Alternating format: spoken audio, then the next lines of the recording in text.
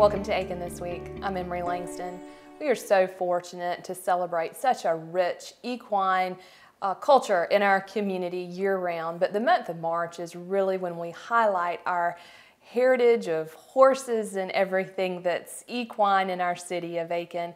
And we're so fortunate today to be here at the Aiken Thoroughbred Racing Hall of Fame and Museum with Lisa Hall, who is the museum coordinator and newly penned author of Aiken Thoroughbred Racing Champions that will be uh, out in April. Yes. So that is wonderful, Lisa, and I can't wait to talk about that a little bit later on. Um, but we love coming to the Racing Hall of Fame. We love having you. And the month of March, Lisa, you've got so many wonderful things yes. going on as always. Um, so we want to talk about that today and uh, let folks know what, what they can come here and enjoy. Yeah. And so I know you have a program that's actually going to start out the gate on March 1st, and it's a really unique program. Yeah. Yeah, it was really interesting find for me when I was doing research for my book. I came across a lot of cartoons in newspaper archives, and a lot of them in the 40s, 50s, and 60s had to do with our, some of our horses, such as Blue Peter and Capot and Gallorette, and uh, up into the 70s with Lamb Chop. And it's, it's a really interesting art form. A lot of newspapers don't use cartoon editors anymore. Mm -hmm. um, we've entered the digital age. Um, everything can be sent over the, you know, the web, and to have this kind of artwork, it just doesn't really happen that much anymore. So we were glad to highlight it, and even more glad to see that some of our horses were highlighted, and some people who used to live here, such as Tommy Hitchcock and Pete Bostwick, they also were immortalized. So it's very neat, very neat um, uh, exhibit. It is, and it, the, in the artwork, when I was looking at it, it is it is a different, it is a true form um, and and just to read them, they're so very mm-hmm. clever. Mm-hmm. Um, but what a what a true testament to a, an age. And um, your exhibit's going to run March 1st through the 10th. Correct. So we hope everybody will come and, and, and see the the cartoons uh, that are on the, the wall here at the museum. So another fun opportunity that you're going to have is the Breyer mm -hmm. Children's uh, Fun Day or Fun Day for Children. Mm -hmm. And so tell us a little bit about what that's going to be on March 4th.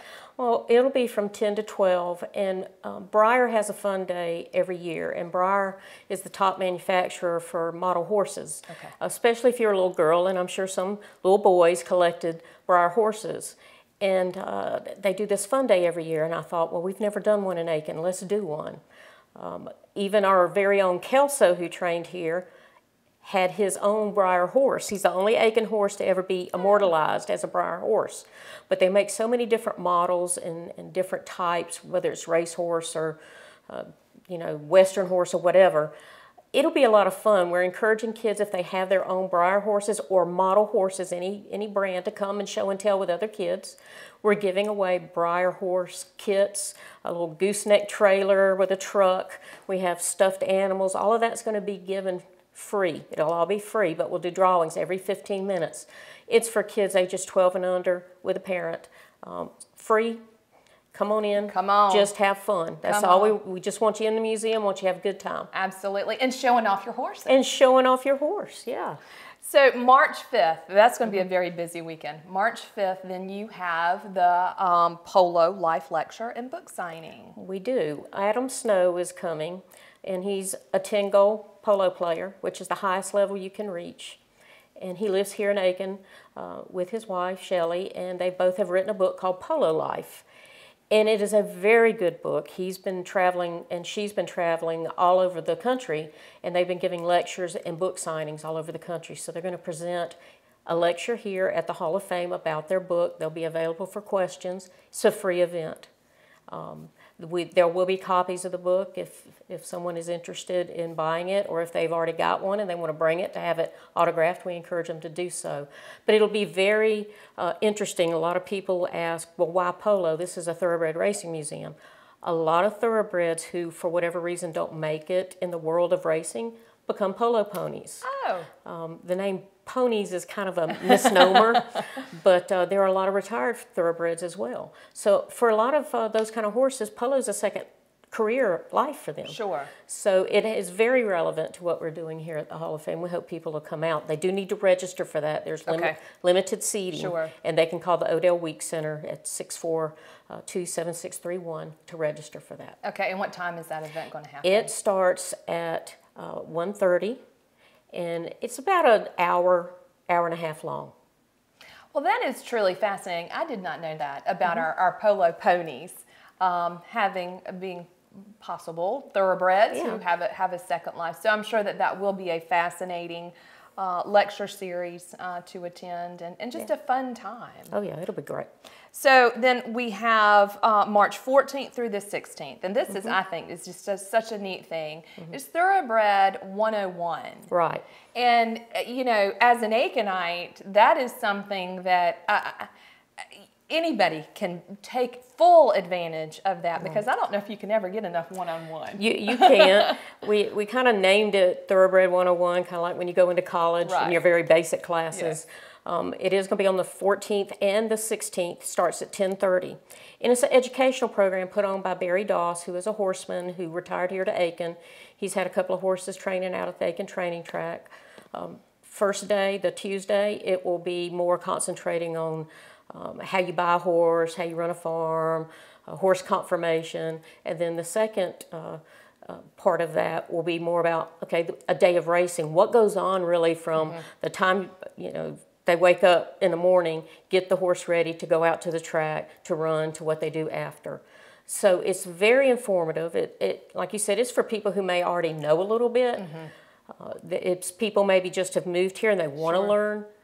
There's people here who's been here their whole life and they know nothing. Right. So this is perfect, and it's another free event that we give um, at the museum to help educate the public Sure. uh, about our, you know, our main equine industry here. Sure. That's very important. Now, do people need to register for that program as well? They do. There is limited seating. We're a small museum, so if they could call the Week Center, um, said the, the number a little bit earlier, but Right. ask them to call the Week Center and sign up. Sure, sure. Well, and then that's going to take us to uh, one of the, the- I think is the, the coolest program of the year, and that's Breakfast at the Gallops. Yes, Breakfast at the Gallops is great. We're in our 11th year. Um, it'll be on March the 17th. It's from 8 to 10. Now it starts at 8. Uh, for your ticket, it's $25 at the gate or 20 in advance. That is a fundraiser for our museum. It's the main fundraiser. Uh, and what we'll do is you get you get out there, you get a nice uh, breakfast, biscuit breakfast with all the fixings. You get to watch horses train. There'll be trainers out there that you can ask questions, and we have a very special guest this year uh, named David Donk, and he is a trainer who wo- worked for Woody Stephens in the 80s. He helped train Forty Niner, who was one of our Hall of Fame horses. So he is coming for the first time to Breakfast at the Gallops uh, to give a talk, and uh, um, you know you can ask them questions, you can meet them. You know, it's all a very kind of um, relaxed atmosphere. Sure. Another thing we're doing is we're going to have a trivia contest this year. Um, Susie Haslip, who's on my advisory board, is coming up with tr- trivia questions about our horses and a lot of neat prizes to be given away.